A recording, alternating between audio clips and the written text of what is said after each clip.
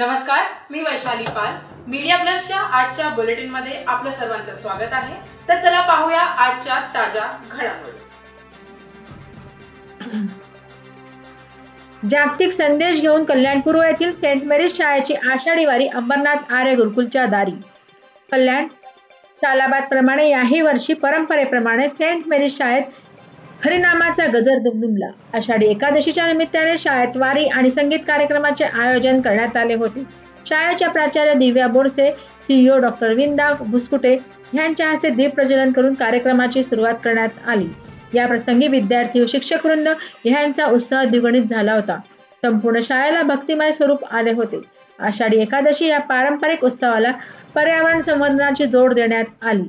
प्रत्येक पाऊल प्रत्येक पायरी प्लॅस्टिकच्या प्रदूषणाचा नाश करी पर्यावरण संवर्धन रुजवू घरीदारी आषाढी एकादशी ही सकळ जणांची वारी हरिनामाचा गजर गाऊनी हरित क्रांतीची वसा घेऊ शिरी.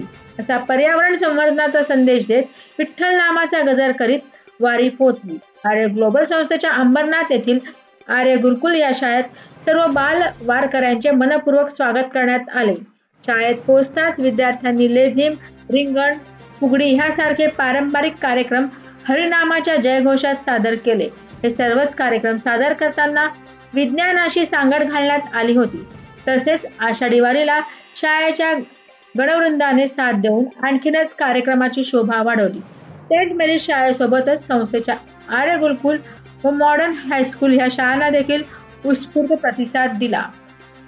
त्याचप्रमाणे आर्य गुरुकुल शाळेचे प्राचार्य निलेश राठोड यांनी या प्रसंगी मुलांना मुलाचे मार्गदर्शन केले.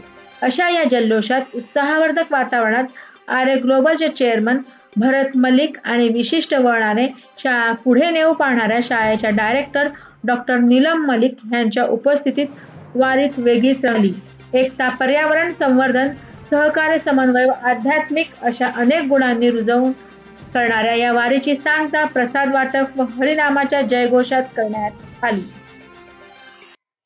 या होत्या आजच्या ताज्या घडामोडी. अशाच ताज्या घडामोडींसाठी परत भेटू. तोपर्यंत जय हिंद जय महाराष्ट्र.